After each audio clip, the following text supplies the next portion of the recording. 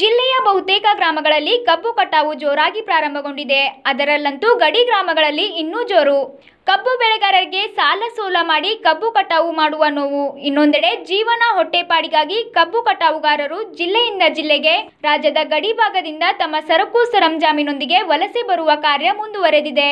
ಮಹಾರಾಷ್ಟ್ರದ ಬೀಡಾ, ಉಸ್ಮಾನಾಬಾದ್, ಜತ್ ಪಂಡರ್ಪುರ್, ವಿಜಯಪುರ ಜಿಲ್ಲೆಗಳಿಂದ ಕಬ್ಬು ಕಟಾವು ಕೆಲಸ ಅವಲಂಬಿಸಿ ಸಂಸಾರ ಸಮೇತ ಆಗಮಿಸುವ ಕಬ್ಬು ಕಟಾವು ಕಾರ್ಮಿಕರ ಬದುಕು ಬಯಲಿನಲ್ಲಿಯೇ ಆರಂಭವಾಗಿದೆ. ಕಳೆದೆರಡು ತಿಂಗಳಿನಿಂದ ಬಿಕೋ ಎನ್ನುತ್ತಿದ್ದ ಬಯಲು ಪ್ರದೇಶ, ಹೊಲಗದ್ದೆಗಳಲ್ಲೀಗ ರವದಿ ಮತ್ತು ಪ್ಲಾಸ್ಟಿಕ್ ಹೊದಿಸಿದ ಗೂಡುಗಳಲ್ಲಿ ದೀಪದ ಬೆಳಕು ಬೆಳಗುತ್ತಿವೆ.